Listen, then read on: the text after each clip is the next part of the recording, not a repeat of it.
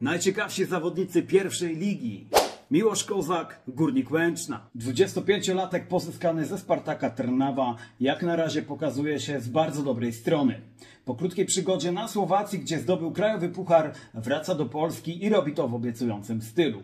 Wcześniej zbierał dobre noty w Radomiaku Radom, lecz przygodę z tym klubem skończył w sposób kontrowersyjny i teraz pracuje, aby znów o nim było głośno, ale tylko ze względów sportowych.